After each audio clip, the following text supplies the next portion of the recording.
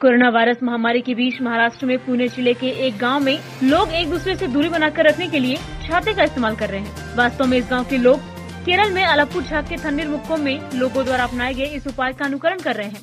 एक अधिकारी ने बताया कि पुणे नासिक राजमार्ग पर पचास हज़ार जनसंख्या वाली मंचर ग्राम पंचायत में संभवतः छाते को एक दूसरे से दूरी बनाने के औज़ार के रूप में इस्तेमाल किया जा रहा है। इसका परिणाम ये हुआ कि यहाँ अब तक कोविड 19 का एक भी मामला सामने नहीं आया है। गाँव के सरपंच ने कहा कि लॉकडाउन के नियमों में क्रमिक ढंग से छूट देने और मुंबई से बड़ी संख्या में लोगों के इन भागों में यात्रा करने से संक्रमण का खतरा और भी ज़्यादा बढ़ रहा है। इसलिए सुनिश्चित करना अहम हो गया है कि गाँव इस महामारी से मुक्त रहे, क्योंकि एक दूसरे से दूरी बनाने में छाते के इस्तेमाल का केरल मॉडल कारगर था, इसलिए हमने भी यहाँ इसे अपनाया है। उन्होंने कहा कि सोशल मीडिया के इस्तेमाल हैशटैग छाते वाली सेल्फी से लोगों को प्रोत्साहन मिला और इस विचार को सफल बनाने में ये उपाय कारगर रहा है। मनसरमधील सर्व नागरिकांना विनंती आहे कोरोनाचा प्रादुर्भाव तालुक्यातसुद्धा बऱ्यापैकी वाढायला लागलेला आहे.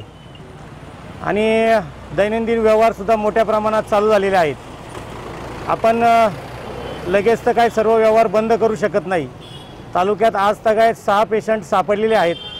नागरिकांना नम्र विनंती आहे. घरातून बाहेर पडताना एक दोन तीन गोष्टी विशेष करून आपण सर्वांनी काळजी घ्या.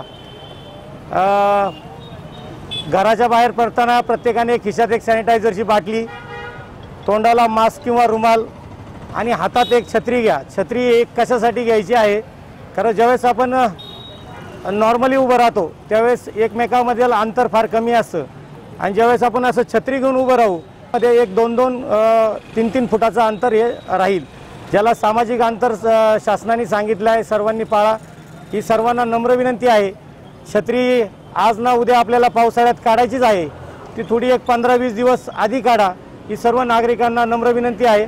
जेणेमुळं जो काय हा कोरोनाचा पब्लिक संसर्ग आहे तो बऱ्यापैकी थांबल अशी अपे अपेक्षा आहे. आपण सर्व लोक या आव्हानाला प्रतिसाद कराल अशी मी आ- आशा बाळगतो.